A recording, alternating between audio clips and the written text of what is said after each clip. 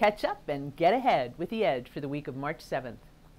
What kind of a difference can you make by choosing a career in public service? That was the topic at a conference organized by the University of Texas at Austin's Annette Strauss Institute for Civic Life and hosted at the University of Texas at San Antonio's College of Public Policy. During the day long event, local leaders and recent graduates generously shared their experience and their advice to help students make career choices. Find something that needs fixing and do something about it, suggested Rey Saldaña, who was the youngest person ever elected to the San Antonio City Council when he took office four years ago. Former Texas House Representative Mike Villarreal, who ran unsuccessfully for San Antonio mayor in 2015, had this suggestion. That if, if you could figure this out, you would be a part of a, uh, a well sought after group, and that is if you could be able to both analyze data and then effectively communicate and share your insights to a group of people that shapes their ability to make group decisions better. That would be a really Go to nowcastsa.com to learn more.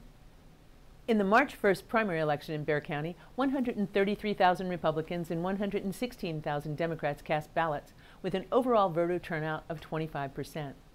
One out of four registered voters casting a ballot doesn't sound like a lot, but check this out. For the last dozen years, Bexar County has had an 80% voter registration rate and about a 12% voter turnout.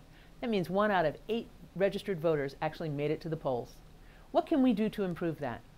Move all city elections to November, says Ron Nirenberg, and listen to what the councilman has to say. This is not an anomaly, but a larger trend in San Antonio that we can remedy. We can do better, and we have to. Each vote cast is an investment in our future, and the proposal to move our elections to uh, November to help boost civic engagement is an easy step toward greater participation and more significant community input. As I mentioned, the City of Austin recently switched its municipal elections from May to November, yielding an increase in voter turnout. Learn more at Nowcast SA. In January, you got to see San Antonio from space thanks to astronaut Scott Kelly, who sent photos from his Twitter account during the year he was commander of the International Space Station. On March 8th and March 9th, no matter where you are, you can watch a live stream of a total eclipse of the sun over the middle of the Pacific Ocean, thanks to National Geographic and the robotic telescope service Slooh.com. While you're waiting, go to Nowcast SA and check out the video the Slooh telescope captured of last fall's eclipse of the mega harvest moon. Did you or your household earn $60,000 or less in 2015? If so, you're entitled to free help preparing your taxes. And you guessed it, we have a map for that. Go to Nowcast SA to see a map of all of the volunteer income tax assistance offices in San Antonio area, along with hours and directions. Our story also has a list of documents you need to bring when you go. Thanks for watching The Edge. See you next time.